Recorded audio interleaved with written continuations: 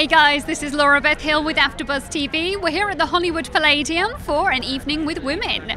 Let's see who we can meet. Yeah. So I remember obviously Queer as Folk. I was Yes. a huge fan. It Oh, was on you're in the so UK. Oh Thank my you very goodness, much. yeah. And then you decided to transition into being an executive producer. How did that transition come about? Um, while I was on Queer as Folk, I realized I wanted to be writing and directing. I mean, I had an amazing, amazing experience on that show as an actor, but um, but I, I wanted to be writing and directing. I wrote a feature. I got a writing partner. We started selling some things. We finally sold something that got made, and five seasons later, we're still doing the Fosters.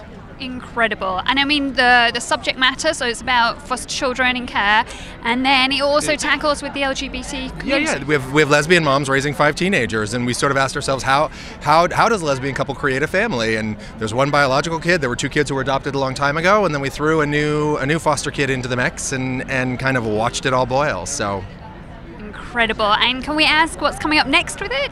Uh, the Foster season five starts July 11th on Freeform, so I'm very, very uh, excited about that. Any teasers you can give us?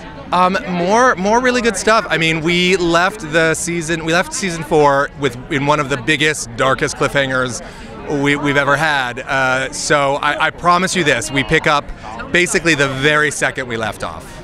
That, Okay. That's all I'll say. And I and I, I directed, wrote, and directed the premiere, and I'm pretty proud of it. So, so it's it's it's a it's a great ride. And then in, season five, the show is getting back a little bit to its sort of family-centered and, and slightly more joyful roots. We we uh, we're just bringing it back home a little bit. So I'm I'm I'm pleased about that too. Sounds good. And can you tell us about your involvement with this evening?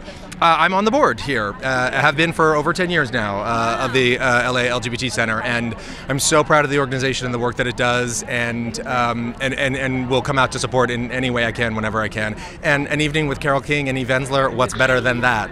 Eve Ensler I know. and Carole King, but yeah.